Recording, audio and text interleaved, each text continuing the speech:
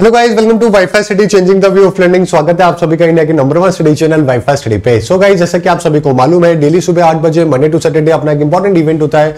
40 to 50 minute का, जिसके अंदर हम लोग इंडिया के लीडिंग करंट अफेयर जो कि कवर करते हैं। उम्मीद करता हूँ आप इसे रेगुलर देखते होंगे शेयर करते होंगे, ताकि आपकी नॉलेज जो है, वो डे बाय डे इंक्रीज होती रहे और देश में, दुनिया में क्या चल रहा है, हर चीज़ का पास प्रेजेंट फ्यूचर जो है आपको पता रहे। तो चलिए भाई शुरुआत करते हैं। जैसे कि आप सभी को मालूम है, आज है ट्वेंटी ऑफ़ जून तो ट्वेंटी ऑफ़ जून के करंट अफेयर है, जो कि हम लोग कवर करने वाले हैं। अगर आप इनमें से कोई भी एग्ज़ाम फाइट कर रहे हैं गाइस तो ये करंट अफेयर आपके लिए बहुत ज़्यादा यूजफुल है और आपको 80 टू 90 परसेंट क्वेश्चन जो एज इट इज़ आपको देखने को मिलेंगे। साथ में अगर आप किसी भी एग्ज़ाम की प्रिपरेशन नहीं कर रहे हैं तो ज़्यादा बेहतर होगा क्योंकि आपकी जो नॉलेज होगी दोस्तों, वो बहुत ही ज़्यादा अच्छी होगी। आपकी कली जहाँ पे आप जॉब कर रहे हैं, किसी भी प्राइवेट सेक्टर में गवर्नमेंट एम्प्लॉय हैं अगर आप तो वहाँ पे आपकी नॉलेज जो है वो बहुत ही इमेंस होगी। चलिए, आगे बात करते हैं। सबसे पहले दोस्तों, बात करेंगे प्रीवियस डे के क्वेश्चन की। उसके बाद में आज के सारे लीडिंग न्यूज़पेपर आज के दिन इतिहास में क्या हुआ? आज देखेंगे एक और नया फन फैक्ट जो कि बहुत इंटरेस्टिंग होता है रिसर्च बेस्ड फैक्ट है जो कि हम लोग बात करते हैं। साथ में दोस्तों, कुछ महत्वपूर्ण सवाल है जो कि हम लोग कवर करेंगे। चलिए, सबसे पहले बात करते हैं। मैंने आपसे कल पूछा था इंटरनेशनल योगा डे का थीम जो है दोस्तों, क्या है? तो 2021 की जो योगा डे की थीम है, वो है दोस्तों योगा फॉर वेलनेस तो बी आपका सही आंसर है। नेक्स्ट कौन सा देश दुनिया में एफडीआई प्रवाह का पांचवा सबसे बड़ा प्राप्त करता है? तो फिफ्थ नंबर के ऊपर जो है, सबसे मैक्सिमम जो एफ़ आया है नंबर वन पे यूएस है then China then Hong Kong and China then Singapore उसके बाद में है इंडिया तो पाँच पे इंडिया है. आउटफ्लो के अंदर बात करें तो हमें एटीन रैंक पे आउटफ्लो ठीक है? चलिए, दोनों रैंक ध्यान रखिएगा. भारत ने किस देश के साथ हाइड्रोजन टास्क फोर्स का शुभारंभ है, जो कि किया है? तो ये हमने यूएसए के साथ में दोस्तों बनाई है.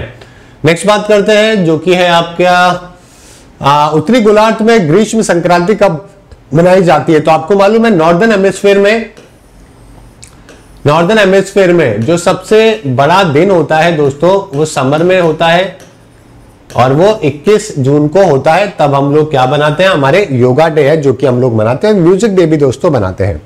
चलिए, आगे बात करते हैं। इसके अलावा अगर आपको घर बैठे इंडिया में किसी भी एग्ज़ाम की तैयारी करनी है, चाहे यूपीएससी हो एसएससी हो बैंक हो रेलवे हो, चाहे आपका कोई आईआईटी कैट मैट क्लैट कोई भी एग्ज़ाम हो अन अकेडमी प्लस पे आप सब्सक्रिप्शन ले सकते हैं रेफरल कोड लगाइएगा बी एच यू टेन या गुनेश टेन जिससे आपको टेन परसेंट ऑफ़ भी जो है वो मिल जाएगा किसी भी एग्ज़ाम के लिए। Live classes test series doubt clearing session PDF top educator की क्लासेस सब कुछ आपको अवेलेबल हो जाएगी। आपको ऐप डाउनलोड करना है मोबाइल नंबर डालना है, फिर अपना गोल सेलेक्ट करिए एसएससी यूपीएससी कैट गेट जो भी आपका गोल है थर्टी प्लस एग्ज़ाम्स है यहाँ पे। फिर प्लस में जाइएगा गेट सब्सक्रिप्शन 12 मंथ या 24 month whatever you want और नीचे बी एच यू टेन आप लगा सकते हैं। ठीक है guys B H U ten लगाने के बाद आपको 10 परसेंट ऑफ़ मिल जाएगा। साथ में अगर आपको जीके पढ़नी है तो मैंने हिस्ट्री स्टार्ट करी है एसएससी के अंदर। नया फाउंडेशन बैच है एसएससी में आप ज्वाइन कर सकते हैं B H U ten use करके। एक साल के, दो साल के सब्सक्रिप्शन लेने पे आपको फोर मंथ एडिशनल है जो कि फ्री मिल रहे हैं। ठीक है? ये India current affair news channel है, इसको सब्सक्राइब कर लीजिएगा। कल नया वीडियो जो है अभी मैंने डाला है जो कि पंजाब के एजुकेशन सिस्टम पे है तो ज्वाइन कर लीजिएगा इस चैनल को लिंक मैंने कमेंट में दे रखा है। कोट ऑफ़ द डे है to move on and accept change is a sign of wisdom and maturity बहुत सही बात है, जो कि यहाँ पे यशवंत के द्वारा बोली गई है। बहुत बार मेरे पास टेलीग्राम पे व्हाट्सएप पे बहुत सारे मैसेजेस आते हैं, जिसमें बहुत सारे लड़के, लड़कियाँ जो है, वो परेशान होते हैं। किसी के बॉयफ्रेंड की प्रॉब्लम है, किसी के गर्लफ्रेंड की प्रॉब्लम है, किसी के शादी करनी थी, शादी नहीं हो पाई, किसी का बहुत ही क्लोज फ्रेंड है, उसकी डेथ हो गई है, किसी के बॉयफ्रेंड ने डिच कर दिया, किसी गर्लफ्रेंड ने डिच कर दिया। गाइज़ देखिए, हमेशा एक बात ध्यान रखिए लाइफ जो है अपनी बहुत ही ब्यूटीफुल है और बहुत ही बड़ी है।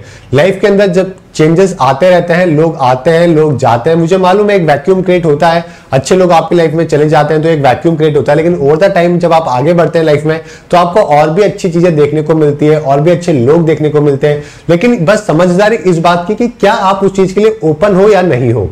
हमेशा इस बात का ध्यान रखिए कि आज कोई भी चीज़ आपके पास, में मानता हूँ बेस्ट है। लेकिन उससे भी बेस्ट होने के चांसेस फ्यूचर में हमेशा होते हैं। अगर आप लाइफ को मौका देते हो तो।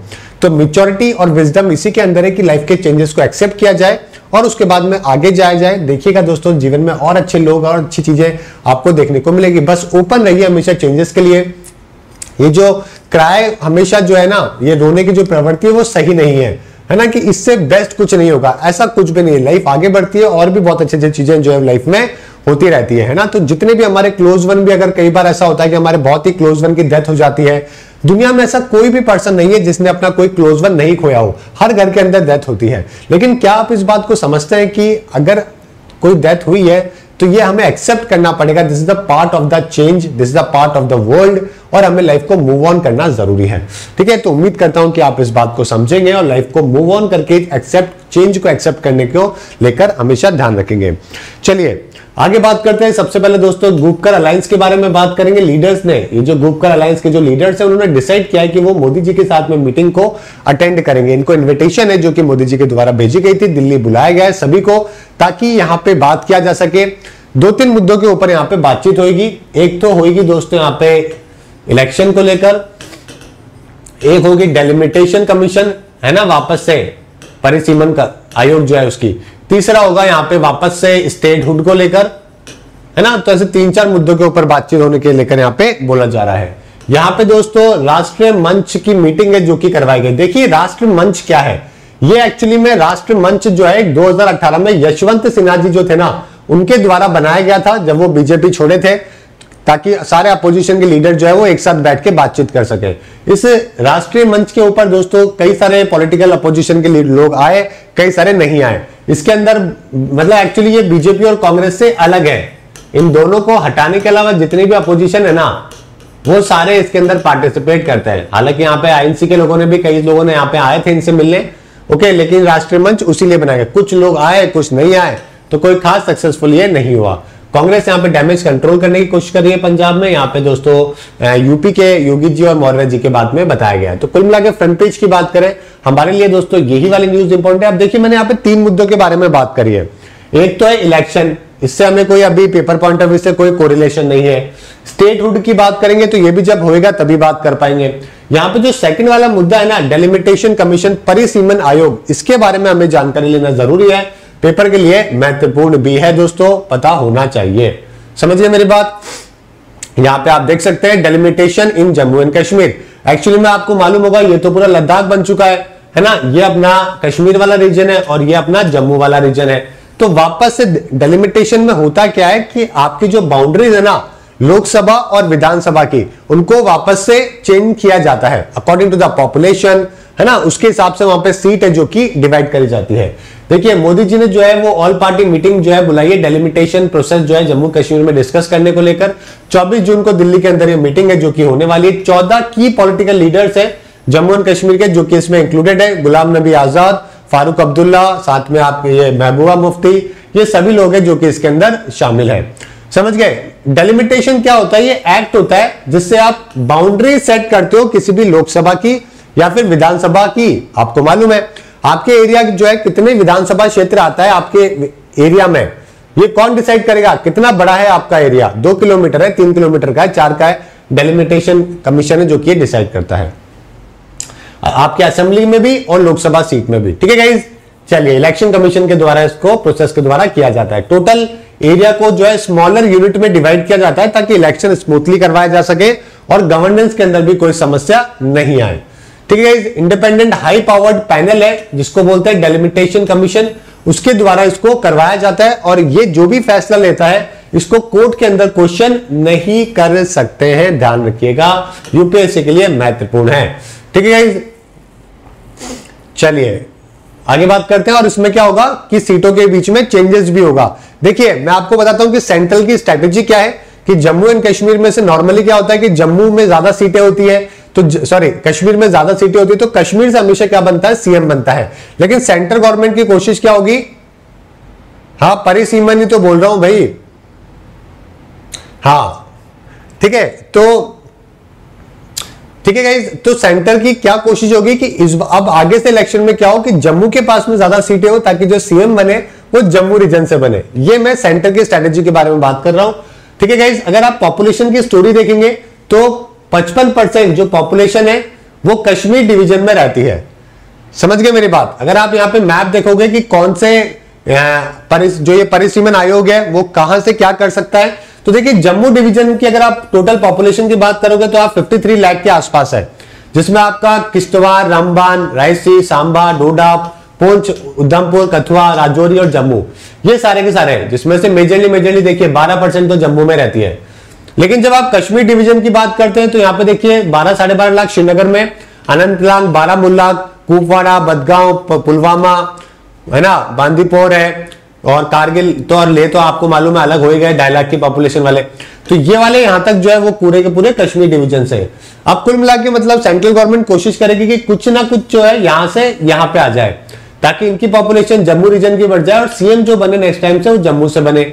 समझ गए? ये सेंट्रल की स्ट्रेटेजी होगी, लेकिन देखते हैं डेलिमिटेशन कमीशन जो है वो कैसे इसको जस्टिफाई करेगा, कैसे डिविजन करेगा। ये आने वाले दिनों के अंदर ही पता चलेगा। ये देख सकते हो आप, ये कश्मीर है पूरा, ये जम्मू वाला एरिया है, और ये अपना पूरा का पूरा लद्दाख वाला एरिया है जो कि आप देख सकते हैं। ठीक है गाइज़ ये एक्साइज चीन है जो कि चाइना के द्वारा कंट्रोल्ड है। यहाँ पे दोस्तों पीओके वाला कंट्रोल्ड है और यहाँ पे एक्साइज अपना सियाचिन ग्लेशियर है।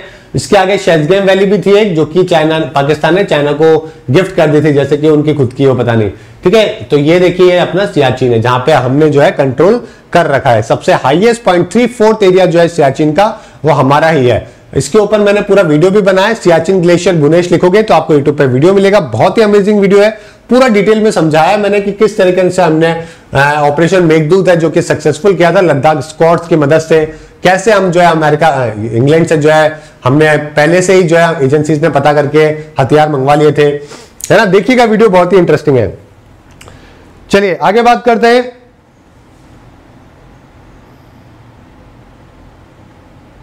चलिए आगे बात करते हैं तो यहाँ पे आप देख सकते हैं डेलिमिटेशन जो एक्साइज है जम्मू एंड कश्मीर के अंदर पास जो है वो डिफरेंट होती थी, जो कि हमारे बाकी कंट्री से होती थी। क्यों? क्योंकि इसको स्पेशल स्टेटस था।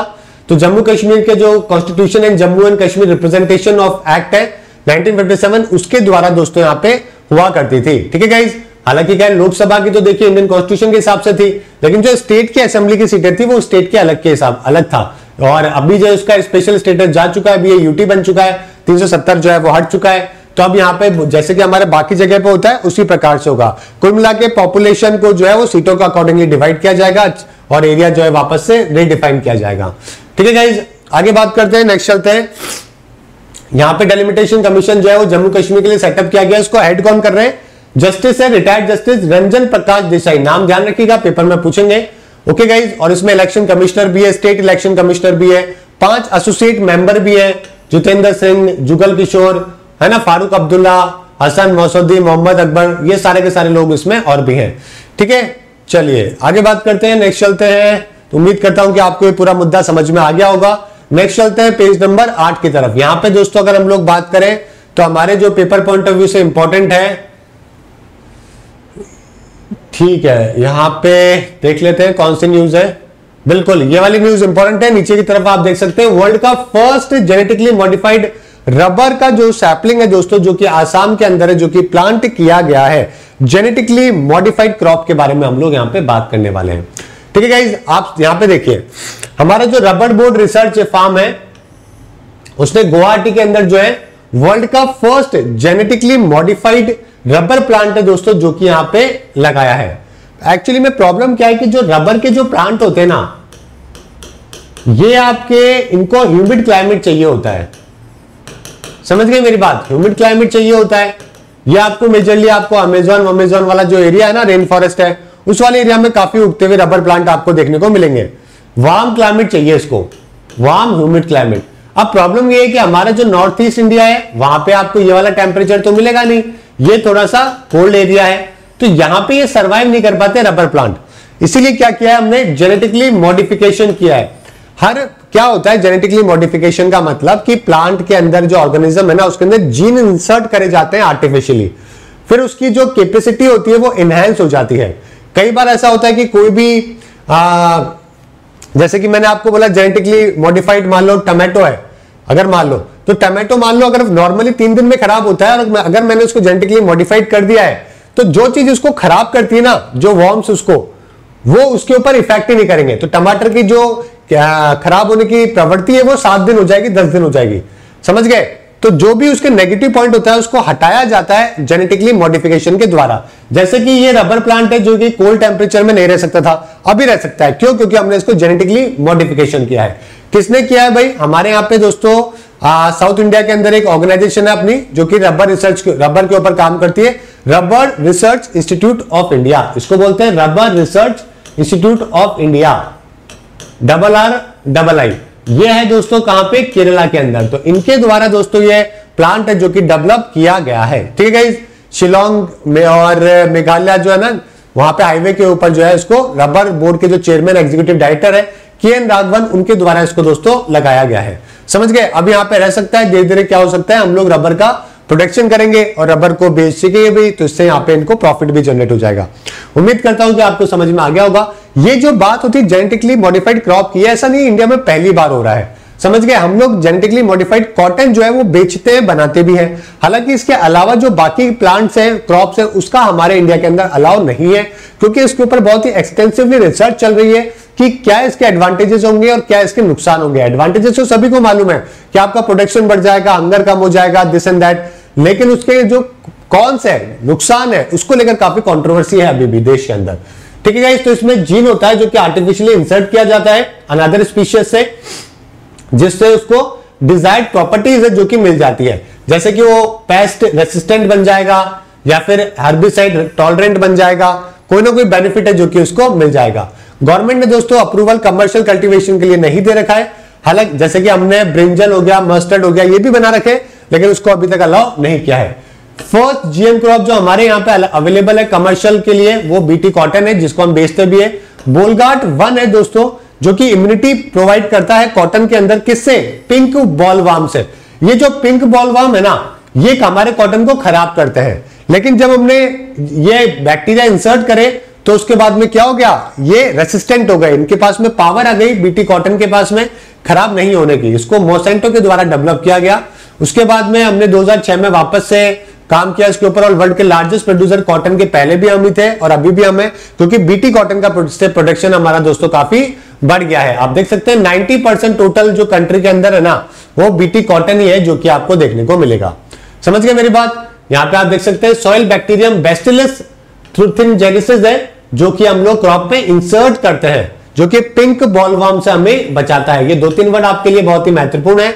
ये क्या करता है? हर्बिसाइड टॉलरेंट हो जाता है कॉटन ठीक है, आपकी सॉइल जो है ज़्यादा अच्छी तरीके से परफॉर्म करेगी। बीटी ब्रिंजल मस्टर्ड ये भी हमने दोस्तों बनाए थे। ठीक है गाइज़ लीगल पोजीशन की बात करें तो जैसे कि मैंने आपको बताया जेनेटिक इंजीनियरिंग अप्रेजल कमिटी बना रखी है, जो कि अलाउ करती है कमर्शियल को प्रोडक्शन को लेकर। लेकिन अभी तक हमने कॉटन का ही किया, इसके अलावा हमें नहीं मिला है। अगर कोई करता है तो उसको पाँच साल की सजा और एक लाख रुपए का फाइन या दोनों जो है लग सकता है according to the environment protection act 1986 ठीक है तो हमने अभी यहाँ पे अलाउ नहीं कर रखा, लेकिन ऐसा नहीं है। पूरी दुनिया में जो भी ऐसा ही हो रखा है, ऐसा नहीं है। हमने इंपोर्ट के ऊपर भी लगा रखा है। मैक्सिमम एक परसेंट से ज़्यादा जेनेटिकली मॉडिफाइड क्रॉप जो है हम लोग इंपोर्ट नहीं करवाएँगे, इससे ज़्यादा। ये हमने लिमिट लगा रखी है। एफ़ डबल एस आई के द्वारा लगाई गई है। समझ गए? पूरी दुनिया में देखोगे तो पूरी दुनिया में तो आपको दिखेगा कि बहुत सारे देश है जो कि प्रोडक्शन कर रहे हैं। यूएस कर रहा है, ब्राज़ील, अर्जेंटीना, कनाडा, हम सिर्फ़ कॉटन का ही कर रहे हैं। चाइना देखिए cotton papaya tomato sweet pepper बहुत चीज़ों का प्रोडक्शन कर रहा है। ठीक है तो नियर बाय बाईस कंट्रीज़ है, Paraguay, South South Africa, Pakistan Uruguay जो कि आज के टाइम पे जीएम क्रॉप के ऊपर काम करके उसको बेच रहे हैं या फिर प्रोड्यूस कर रहे हैं। चलिए, आगे चलते हैं पेज नंबर 11 की तरफ़ दोस्तों, यहाँ पे हम लोग जो बात करेंगे वो वापस से यूएन एचआरसी के बारे में बात करेंगे। कल परसों भी यूएन एचआरसी के स्टेटमेंट आए थे। जिसमें उन्होंने इंडियन गवर्नमेंट के जो न्यू आईटी रूल्स है, उनको क्रिटिसिज्म किया था। अभी हम लोग दोस्तों बात करेंगे किसको लेकर? चाइना को लेकर। यूएन एचआरसी के अंदर दोस्तों यहाँ पे कई सारे देशों ने जो है, वो बीजिंग को भी क्रिटिसिज्म किया है चाइना को भी क्रिटिसिज्म किया है कंसर्न दिखाया है। जिस तरीके से ह्यूमन राइट्स का वायलेशन दोस्तों जिंजुआंग प्रोविंस के अंदर चाइना के अंदर है, जो कि यूगलर मुस्लिम्स को लेकर हो रहा है। इसके बारे में डिटेल में बात करेंगे क्या मुद्दा है। इसके अलावा दोस्तों यूएस यूएस जो है 55 मिलियन वैक्सीन है, जो कि एलोकेट करेगा ग्लोबली काफ़ी वैक्सीनेशन है जो कि यूएस अवेलेबल करवा रहा है आज के टाइम पे। चलिए तो मोर देन 40 कंट्रीज़ 40 देशों से भी ज़्यादा देशों ने जिसको कनाडा के द्वारा लीड किया गया ह्यूमन राइट काउंसिल के अंदर, चाइना के जो जिंगचुआंग प्रोविंस है हांगकांग है, तिब्बत है, जो जहाँ पे बहुत ज़्यादा क्रैकडाउन किया जाता है चाइना के द्वारा, उन एरिया के अंदर ह्यूमन राइट्स के वायलेशन को लेकर दोस्तों यहाँ पे स्ट्रॉन्ग जो है स्टेटमेंट है जो कि यहाँ पे दिया है। और बोला गया है कि इसको जो है जल्दी से कुछ ना कुछ कर सके और जो यूएन के जो राइट है ना चीफ उसको इस एरिया में जाने को जो है अवेलेबल करवा के वहाँ पे इन्वेस्टिगेशन कर सके।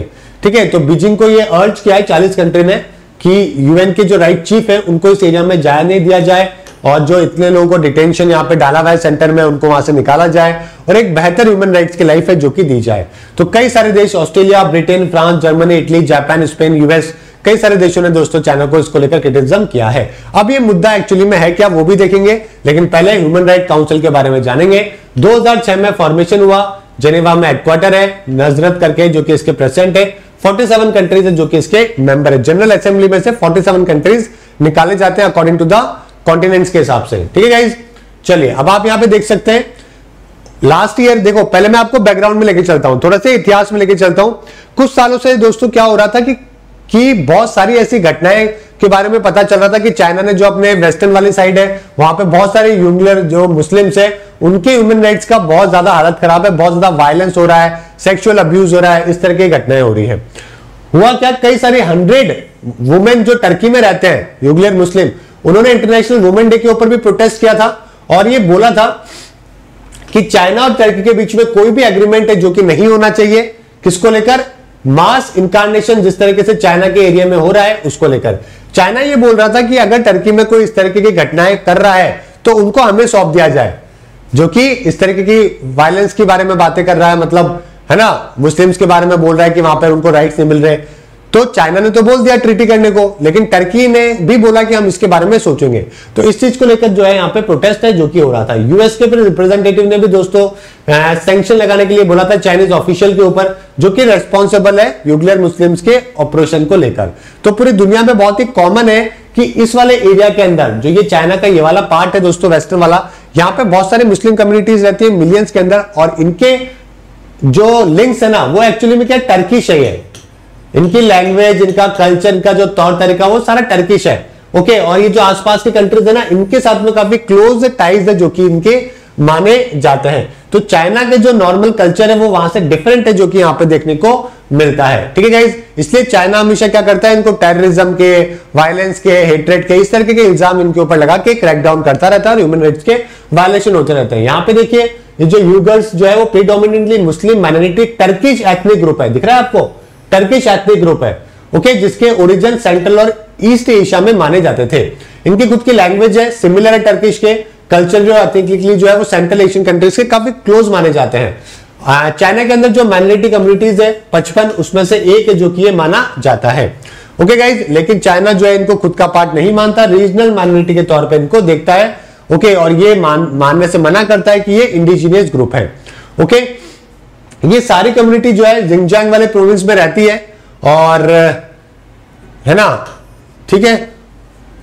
चलिए, इसके अलावा आप देख सकते हैं, बहुत सारे प्रोसिक्यूशन है, लोगों के मर्डर है जो कि यहाँ पे करे गए, लोगों के यहाँ पे लार्ज वायलेंस है जो कि देखी गई। चाइना ने क्या किया कि अपनी पॉपुलेशन का एक पार्ट है हैंड चाइनीज़ इन लोगों को इनके एरिया में भेज दिया गया।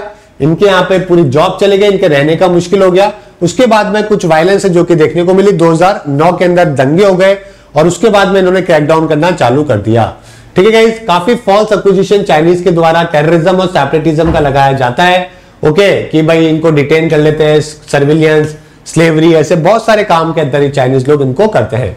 ठीक है? चलिए, उम्मीद करता हूँ कि आपको पूरा मुद्दा समझ में आ गया होगा।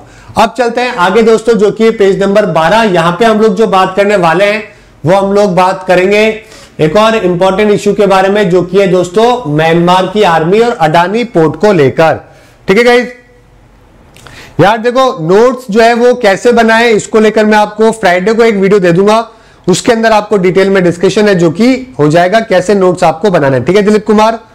चलिए एक बार वीडियो को शेयर कर दो गाइज़ ताकि और भी बच्चे ज्वाइन कर सके। देखो, हर एक मुद्दा पेपर पॉइंट ऑफ़ व्यू से इंपॉर्टेंट है, जो भी हमने डिस्कस किया है, चाहे फिर वो ये वाला हो, चाहे फिर इससे पहले यूएनएच आरसी वाला हो ठीक है ये सब पेपर में जो है आपके सवाल बनते हैं ये आपके साइंस के बायोलॉजी के सवाल बनते हैं जीएम क्रॉप से। तो हर चीज़ जो है इंपॉर्टेंट है स्टार्टिंग में आठ बजे से क्लास ज्वाइन किया करो लेट मत आया करो क्लास के अंदर। बहुत सारे बच्चे मैं देखता हूँ बहुत बहुत लेट आते हो आप। ठीक है अब यहाँ पे हम लोग बात करने वाले हैं वो अडानी पोर्ट को लेकर बात करने वाले हैं क्योंकि आ, हुआ क्या? एक बहुत बड़ा बात ये हुई कि केएलपी करके दोस्तों एक कंपनी है नॉर्वेजियन पेंशन फंड कम नॉर्वे की company Norwegian pension fund KLP उसने दोस्तों अपने जो शेयर थे अडानी पोर्ट में वो बेच दिए हैं। और ये बोल के बेचे कि ये हमारे गाइडलाइंस को जो है फॉलो नहीं कर पा रहे हैं। जो हमारे गाइडलाइंस है कि हम एथिक्स के साथ में काम करते हैं, वो ये फॉलो अडानी पोर्ट वाले नहीं कर रहे हैं। चलिए, अब इस मुद्दे के ऊपर बात करते हैं, ऐसा क्यों हो रहा? अभी दो तीन महीने पहले भी दोस्तों ट्विटर के ऊपर बहुत ट्रेंड कर रहा था ये सब चीज़ें। मुद्दा क्या है, पहले ये बताता हूँ पास्ट में लेके चलता हूँ। हुआ ये था कि कुछ महीने 2019 के अंदर ये हुआ था कि काफ़ी चार्जेस है, जो कि 2019 में हुआ क्या था? मैं आपको बताता हूँ। अडानी ने क्या किया? अडानी जो पोर्ट नाम की जो कंपनी है, इसने क्या किया? नियर बाय 300 मिलियन डॉलर का एक एग्रीमेंट किया, किसके साथ में? म्यांमार की एक कंपनी के साथ में ओके और एक कंपनी थी उसके साथ में, जो कि म्यांमार की आर्मी के द्वारा कंट्रोल करी जाती है। अब आपको मालूम है म्यांमार की आर्मी उस पैसों का क्या करेगी? वहाँ के लोगों के को मारेगी, वहाँ के लोगों में वायलेंस करेगी। डेमोक्रेसी का कत्ल कर दिया है म्यांमार की आर्मी ने। तो वहाँ पे पूरी तरीके से पूरी दुनिया के अंदर बेजती है, जो कि आज के टाइम पे म्यांमार की आर्मी की हो रही है। अब ये जो पैसा मिलेगा, वो आर्मी के पास जाएगा। आर्मी आम जनता को मारेगी, हथियार खरीदेगी, ये सारे काम करेगी। तो ये काफ़ी सारे ऐसे चार्जेस है जो कि अडानी के ऊपर लगाए गए कि आप तो गलत लोगों के साथ में डील कर रहे हो, आपको गवर्नमेंट के साथ में डील करनी चाहिए।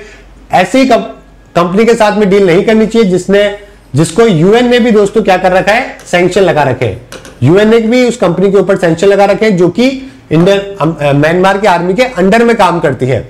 समझ गए? दुनिया में इसके ऊपर सैंक्शन ऑलरेडी लगा रखे हैं। जब अडानी से पूछा गया तो अडानी ने मना कर दिया कि भाई, हमारे ऐसे कोई भी रिलेशनशिप जो है, वो ऐसी कंपनी के साथ में नहीं है। फिर बाद में क्या हुआ? एक ऑस्ट्रेलियन न्यूज़पेपर ने दोस्तों क्या किया? एबीसी करके एक न्यूज़पेपर है, उसने फ़ोटो दिखा दी। उसने पूरा का पूरा क्या कर दिया? बांडा फोड़ दिया। यहाँ पे आप देख सकते हैं, करण ये अडानी के बेटे हैं और ये दोस्तों वहाँ के लीडर है, आर्मी के, म्यांमार के आर्मी के। तो इस तरीके के फ़ोटो आने के बाद में दोस्तों जो है पूरी तरीके से साफ़ हो गया है बात कि कहीं ना कहीं जो है अडानी इनके साथ में है ना, इस वाले एरिया के अंदर एक कंटेनर पोर्ट है जो कि बना रहे थे। ओके गाइज़ उसके बाद में क्या हो गया? जो S N P five hundred की आपने स्टॉक मार्केट का नाम सुना होगा, उसका जो इंडेक्स है, उसमें से भी अडानी को निकाल दिया गया, जो कि यूएस का बहुत ही फ़ेमस माना जाता है। है ना S N P down Jones उन्होंने भी दोस्तों रिमूव कर दिया इंडियन अडानी पोर्ट और स्पेशल इकोनॉमिक जोन को। सस्टेनेबिलिटी इंडेक्स के अंदर, क्योंकि इनके म्यांमार की मिलिट्री के साथ में दोस्तों ह्यूमन राइट अब्यूज के दोस्तों चार्जेस है जो कि लगे हुए थे। एक तरीके से इंटरनेशनल क्राइम की कैटेगरी में दोस्तों अडानी को यहाँ पे डाला गया ह्यूमन राइट के वायलेशन को लेकर। देखिए, दो मिलियन डॉलर का पोर्ट है जो कि यहाँ पे चाइना के इकोनॉमिक कॉर्पोरेशन ये जो कंपनी है ना, ये मिलिट्री के द्वारा बैक करी जाती है। ठीक है तो इस वजह से दोस्तों काफ़ी ज़्यादा यहाँ पे समस्या खड़ी हुई और इस वजह से जो केएलपी कंपनी है नॉर्वेज की जो कंपनी है, इसने बोल दिया कि मैं डी इन्वेस्ट कर रही हूँ, कर रहे हैं हम लोग अडानी के स्टेक म्यांमार के आर्मी के लिंक की वजह से। वन मिलियन डॉलर है जो कि इन्होंने पोर्ट के अंदर लगाया था तो ये वापस से जो अपने पैसा ले रहे हैं और अपने शेयर यहाँ पे दे रहे हैं। ठीक है तो ये यहाँ पे दोस्तों काफ़ी ज़्यादा प्रॉब्लम है जो कि देखने को मिली। मैं तो पहले भी आपको बोल रहा था कि यार अडानी को जो है थोड़ा सा देखते ही ससेप्टिबिलिटी लगती है कि यार ये कंपनी कभी भी बर्स्ट हो सकती है है ना? रिलायंस अंबानी और अडानी के जो वर्किंग कल्चर है ना, उनमें रात दिन का अंतर है। समझ गए? अडानी के बहुत ज़्यादा आप ट्रस्ट कर सकते हो अंबानी की कंपनी के ऊपर। लेकिन अडानी इसकी कंपनी के ऊपर थोड़ा बहुत ऐसा चीज़ें, कई सारे चार्जेस है जो कि आपको कई बार देखने को मिल जाते हैं। ओके इंडियन स्टॉक मार्केट में बात करें तो अडानी की जी के जो स्टॉक्स है, वो अडानी पोर्ट के वो हमेशा आप देख सकते हैं, पिछले छह महीने में 57 परसेंट है, जो कि ऊपर ही गए इंडिया में इसका कोई ज़्यादा इंपैक्ट नहीं पड़ा, ये देख सकते हो ऊपर ही। हालाँकि कुछ टाइम से ज़रूर नीचे आए हैं, लेकिन ये काफ़ी अच्छा प्रॉफिट लोगों को देखे गए हैं। पेज नंबर तेरह की बात करते हैं दोस्तों तो दो दिन का टेस्ट मैच जो है वो बारिश की बेग चढ़ चुका है, और दो दिन के अंदर गेम हुआ, जिसमें तीन इनिंग है, जो कि दो इनिंग हो चुकी है, लेकिन मुझे लगता है कि ये टेस्ट ड्रॉ हो जाएगा। अगर एक दिन और एक्स्ट्रा मिलता, वैसे तो खैर एक रिज़र्व डे रखा गया छठा दिन, लेकिन एक दिन और मिलता ना अगर पूरे पाँच दिन तो इसका रिज़ल्ट निकल जाता टेस्ट का। देखते हैं, अभी भी कुछ भी हो सकता है, एक दिन बाकी है, दो इनिंग अगर हो जाए तो क्या पता। चलिए, आगे बात करते हैं, हमारे लिए जो यहाँ पे इंपॉर्टेंट है, वो बात करेंगे हम लोग यहाँ पे रेड फंड के बारे में, ठीक है तो रेड फंड जो है, वो फ़र्स्ट वुमेन बन चुकी है, जो कि इंग्लैंड के मैन होम इंटरनेशनल मैच के अंदर अंपायरिंग है, जो कि करेगी। Okay guys T twenty against Sri Lanka match होने वाला है। कार्डिफ में वहाँ पे अंपायरिंग है, जो कि करने वाली है। होम ग्राउंड के बारे में बात कर रहा हूँ, ध्यान रखिएगा इंग्लैंड के बारे में। अदरवाइज़ तो वैसे क्लियर है दोस्तों, जो कि पहली महिला थी, जिसने अंपायरिंग करी इंटरनेशनल ओडीआई के अंदर। ठीक है गाइज़ चलिए नेक्स्ट चलते हैं इंडियन एक्सप्रेस की तरफ़। यहाँ पे जो हम लोग बात करेंगे, हम लोग बात करेंगे डेल्टा वेरिएंट को लेकर। आपको मालूम है कि अभी डेल्टा प्लस वेरिएंट है, जो कि दुनिया के नौ देशों में देखने को मिला, और हमारे भी कई सारे राज्यों में देखने को मिला है। उसी वजह से दोस्तों, यहाँ पे केसेस मिलने के बाद में डेल्टा प्लस को भी हमने वेरिएंट ऑफ़ कंसर्न कैटेगरी में जो है वो डाल दिया है। दो कैटेगरी होती है, एक तो वेरिएंट ऑफ़ इंटरेस्ट होता है और एक वेरिएंट ऑफ़ कंसर्न होता है। इंटरेस्ट में जब कोई वेरिएंट होता है तो उसके ऊपर ज़्यादा रिसर्च नहीं होती, वो ज़्यादा डेंजरस नहीं होता, ज़्यादा केसेस नहीं होते, ज़्यादा फैलता नहीं है। लेकिन जैसे ही वो फैलने लगता है, हम उसको इंटरेस्ट ऑफ़ कंसर्न वाली कैटेगरी में डाल देते हैं, ताकि उसके ऊपर रिसर्च हो सके, उसके हर एक केस के ऊपर स्टडी हो सके, वो कितना फैल रहा है, कैसे लोगों को इंपैक्ट कर रहा है, उसके बारे में हम लोग जान सके। तो तीन राज्यों के अंदर महाराष्ट्र हो गया, मध्य प्रदेश हो गया, इन कर्नाटका हो गया, यहाँ पे केसेस है जो कि देखने को मिले डेल्टा प्लस के, और दुनिया में दोस्तों, नौ देशों के अंदर और भी केसेस है जो कि डेल्टा प्लस के देखने को मिले हैं। ठीक है गाइज़ आप देख सकते हैं US UK Portugal Switzerland Japan Poland Nepal China Russia Bhutan Russia इन सारे देशों में देखने को मिले हैं। आगे बात करते हैं, जो कि है इंडियन एयरफोर्स और नेवी जो है, वो ज्वाइंट कंडक्ट कर रही है एक्सरसाइज यूएस के साथ में दोस्तों। नाम क्या रखा गया है? नाम रखा गया है पैसेज पैसेज एक्सरसाइज है, जो कि यूएस की नेवी और वहाँ की एयरफोर्स और हमारी नेवी और हमारी एयरफोर्स है। जो कि इसके अंदर पार्टिसिपेट करने वाली है। ठीक है गाइज़ चलिए तो यहाँ पे आप देख सकते हैं, और इंडियन ओशन के अंदर ही है। वेनेसडे से जो इस एक्सरसाइज को स्टार्ट जो कि कर दिया जाएगा। ओके इंडियन ओशन रीजन के अंदर जो कि इसको करवाया जा रहा है। इसके अलावा तो इस वाले के अंदर तो कुछ इंपॉर्टेंट नहीं है, लेकिन आपको ये सारे पता होने चाहिए। 2021 के अंदर हमने दोस्तों कौन कौन से देशों के साथ में कौन कौन सी एक्सरसाइज है जो कि कंडक्ट करिए उम्मीद करता हूँ कि आपको नज़र आ रहा होगा। नज़र आ रहा है यहाँ पे? पैसेक्स की बात करें, इंडियन और यूएस के बीच में युद्ध अभ्यास है। नज़र आ रहा है, युद्ध अभ्यास। ये भी इंडिया और यूएसए है। डेजर्ट फ्लैग के बारे में बात करें तो कई सारे देशों के साथ में इस एक्सरसाइज को कंडक्ट करवाया गया। ठीक है, दिख रहा है क्या आपको? चलिए। ठीक है, मैं आपको यहाँ पे लिख देता हूँ, पैसेक्स जो है, वो तो यूएसए है, युद्ध अभ्यास जो है ये भी यूएसए के साथ में है। इसके अलावा डेजर्ट फ्लैग के बारे में बात करें तो कई देशों ने पार्टिसिपेट किया इसमें। यूएस हो गया फ्रांस हो गया साउथ कोरिया हो गया सऊदी अरेबिया हो गया। ऐसे कई सारे देशों ने, इसमें इंडिया नहीं था इसके अंदर, समझ गए? नहीं इंडिया भी था इसके अंदर। उसी प्रकार से Iran Russian maritime security belt है। ईरान रशिया सिक्योरिटी बेल्ट नाम से भी एक्सरसाइज करवाई गई, जिसको इंडियन नेवी ने ज्वाइन किया था। कहाँ पे होती है? ये भी लिख रखा है, वैसे यहाँ पे देख सकते हो आप। ओके वैसे ही इंडो फ्रांस ज्वाइंट एक्सरसाइज होती है डेजर्ट नाइट डेजर्ट नाइट की बात करें तो ये किसके बीच में है? इंडिया और फ्रांस के बीच में है। ध्यान रखिएगा ओके उसी प्रकार से एम्पेक्स थी। इसके अंदर इंडियन का इंडियन नेवी एयरफोर्स और आर्मी इन तीनों ने दोस्तों ये एक्सरसाइज है जो कि करी थी, ठीक है? डोमेस्टिकली थी। सी विजल होती है जो कि अपना कोस्ट गार्ड करता है। सी विजल ये भी आपको पता होना चाहिए। सी विजल कौन करता है? इंडियन नेवी नेवी और अपना जो कोस्ट गार्ड है, वो इस एक्सरसाइज को करता है। इसी प्रकार से व्रज प्रहार है।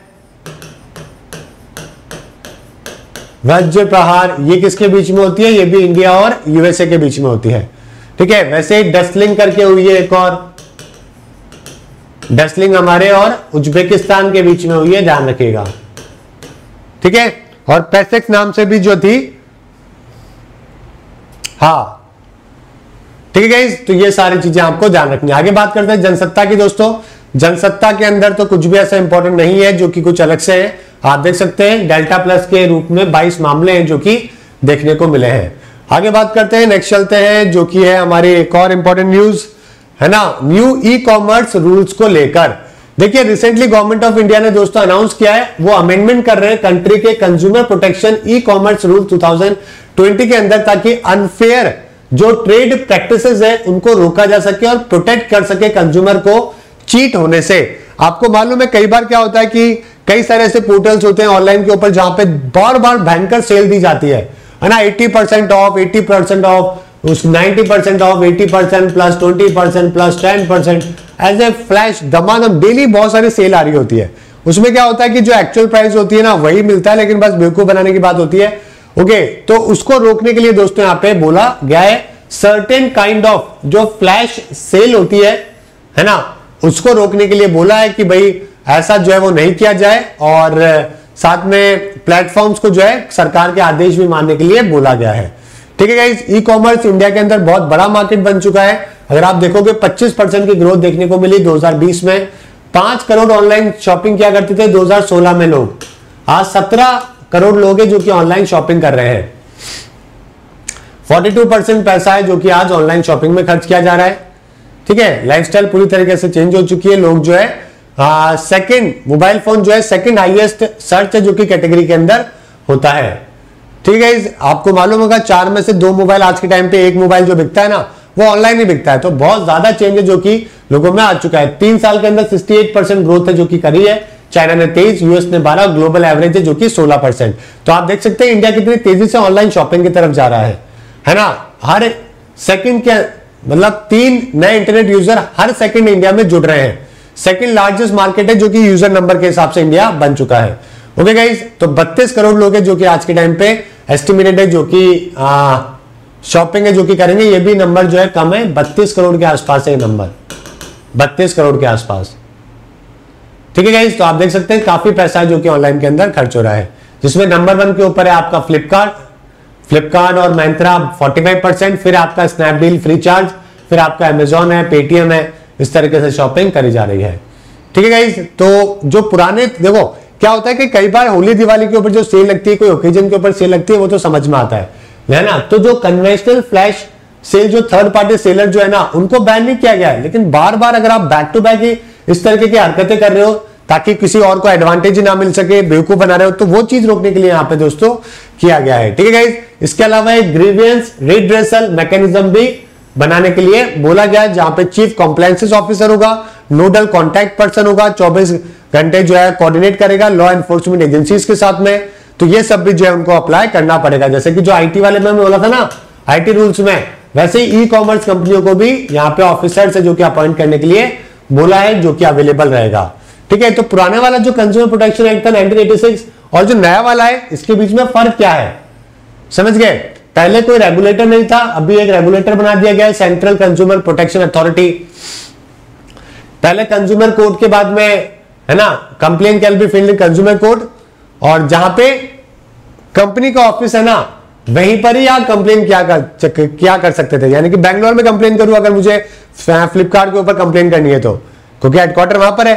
अभी ऐसा नहीं है। अभी आप जहाँ पे रहते हो ना, उस वाले एरिया के आसपास है जो कि कंज्यूमर कोर्ट में कंप्लेन कर सकते हो। अच्छी बात है कंज्यूमर के लिए।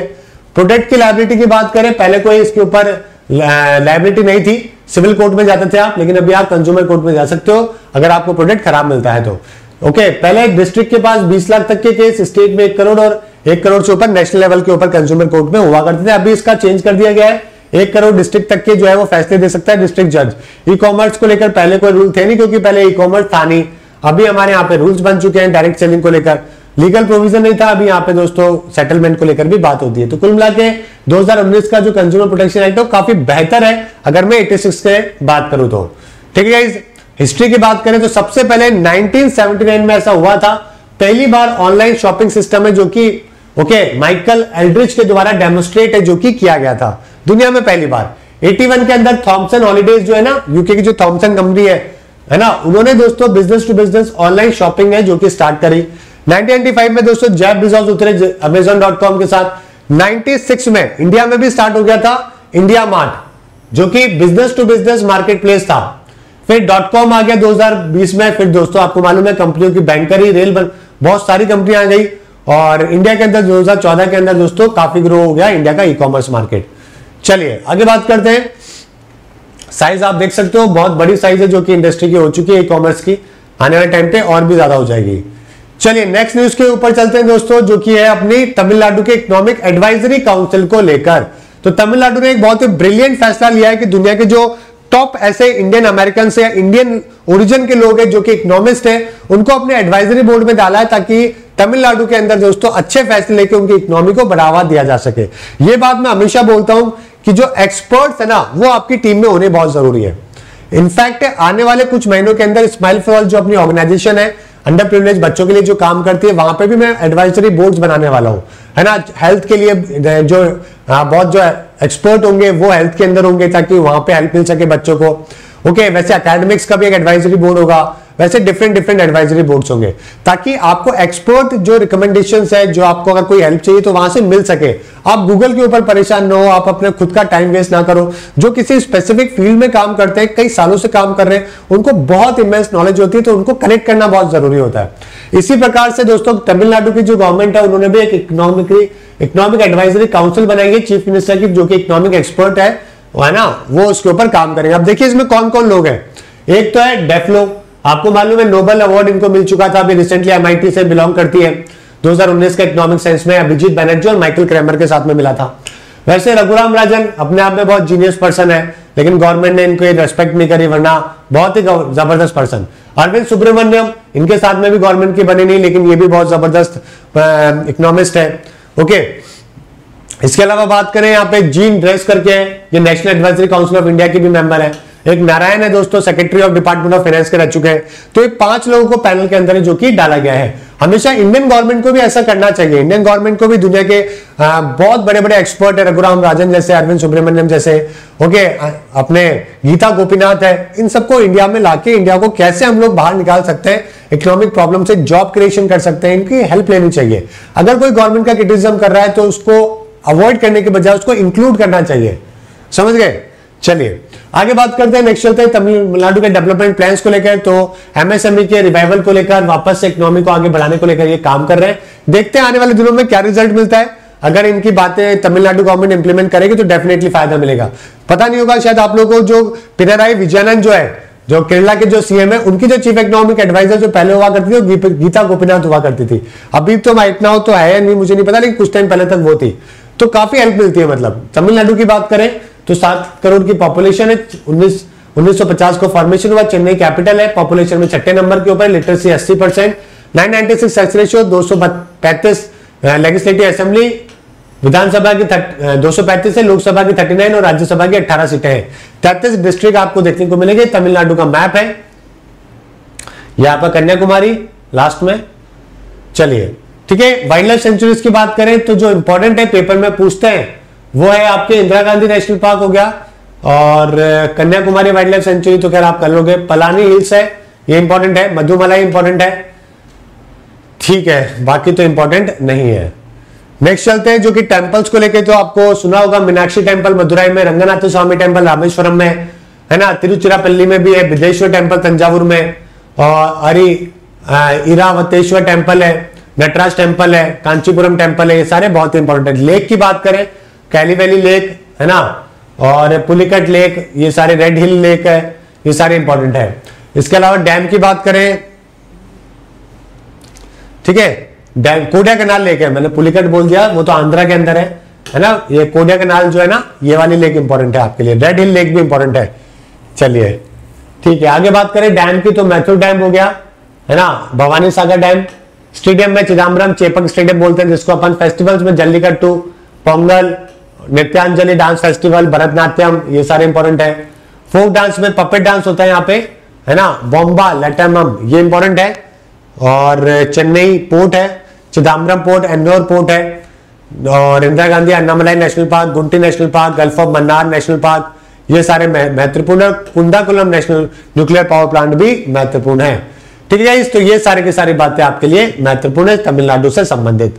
नेक्स्ट चलते हैं दोस्तों, जो कि हमारे आसाम गवर्नमेंट ने एमओयू साइन किया सर्वे ऑफ़ इंडिया के साथ में रूरल प्रॉपर्टी सर्वे को लेकर।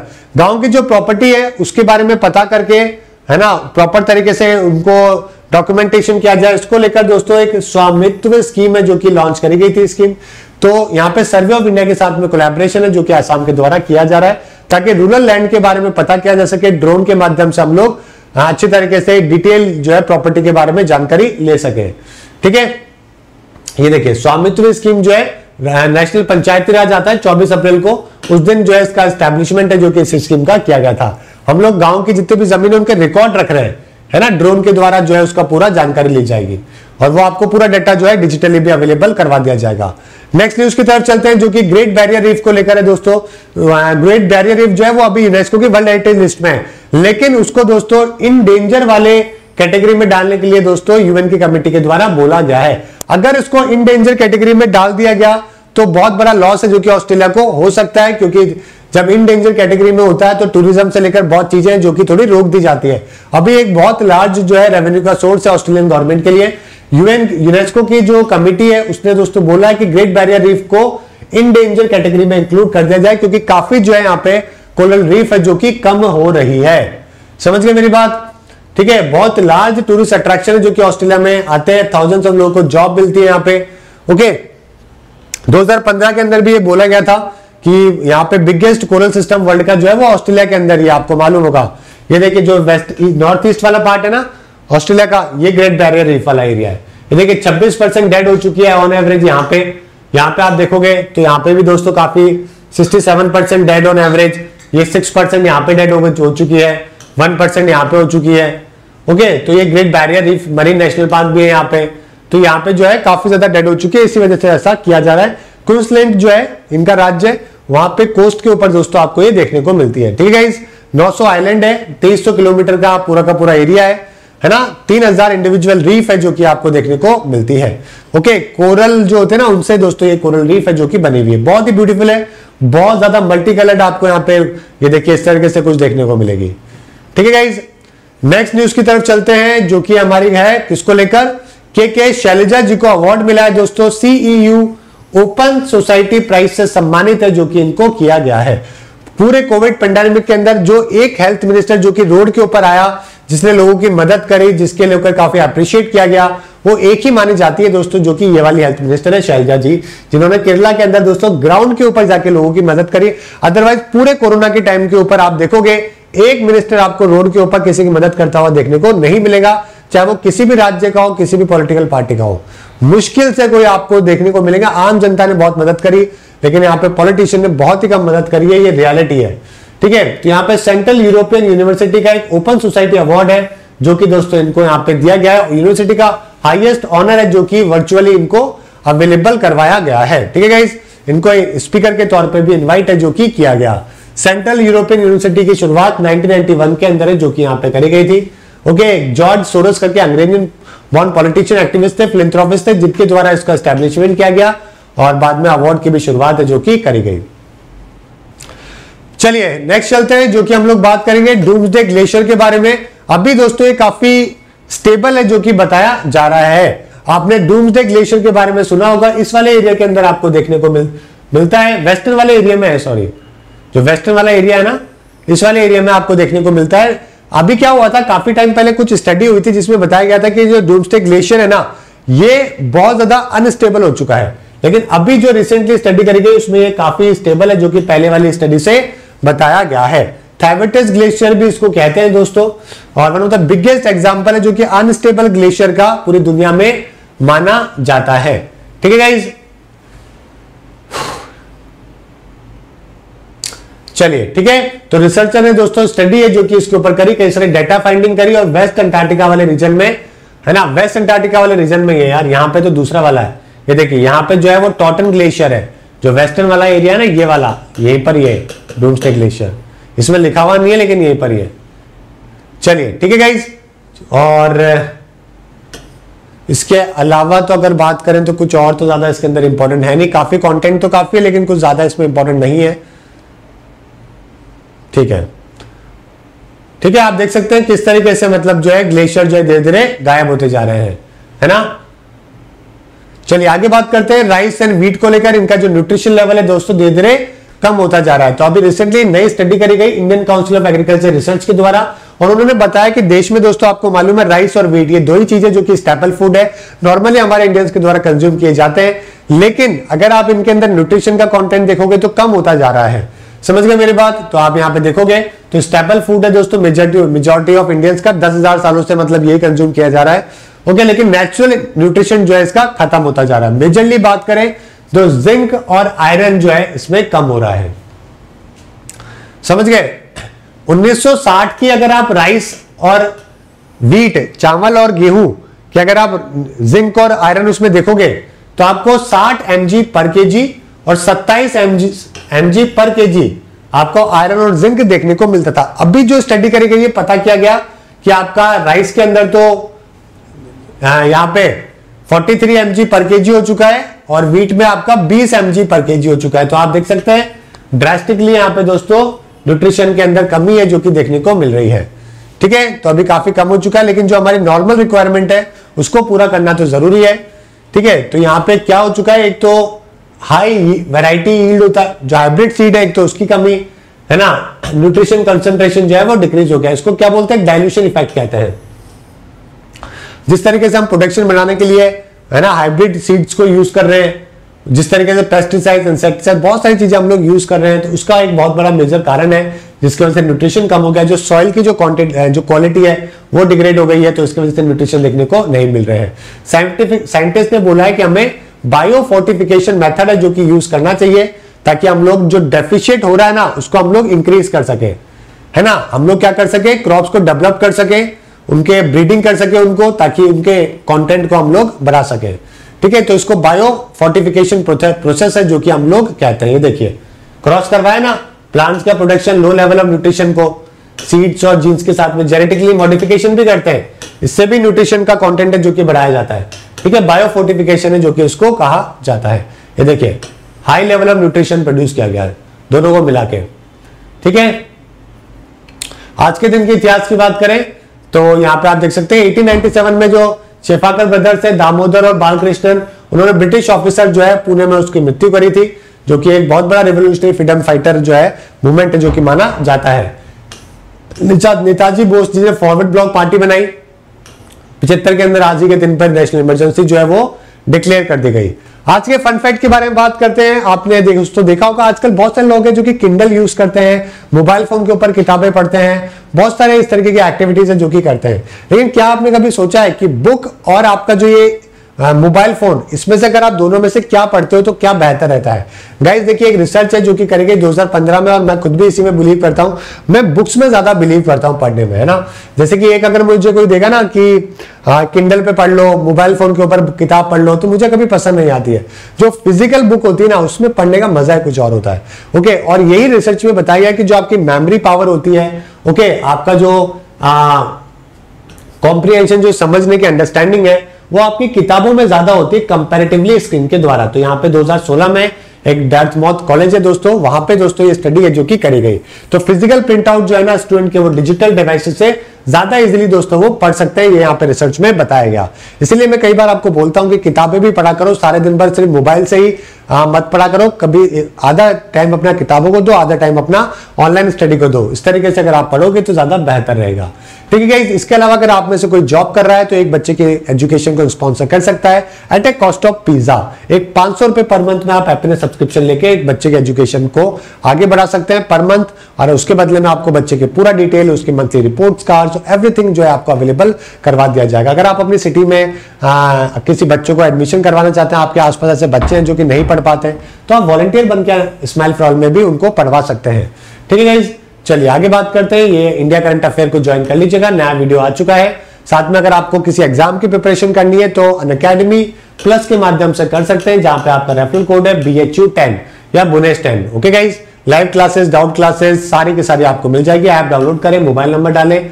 उसके बाद में एसएससी यूपीएससी आईआईटी नीट ठीक है? कुछ भी आप सेलेक्ट करिए प्लस पे जाइए गेट सब्सक्रिप्शन पे। 12 या 24 महीने पे जाके नीचे बी एच यू टेन है जो कि आप लगा सकते हैं। ठीक है चलिए, आगे बात करते हैं। पहला सवाल है आज का। किस राज्य ने आर्थिक सलाहकार परिषद स्थापित करने की योजना बनाई है? निम्नलिखित में से किस राज्य केंद्र शासित प्रदेश में परिसीमन प्रक्रिया चल रही है? पुरुष टेस्ट क्रिकेट में हैट्रिक लेने वाले दक्षिण अफ्रीका के गेंदबाज कौन से बन गए हैं? 2021 के लिए प्रति सीईयू ओपन सोसाइटी प्राइज 2021 का किसको मिला है? भारत के कोविड नाइन्टीन टीकाकरण अभियान में कौन सा राज्य नंबर वन पे है?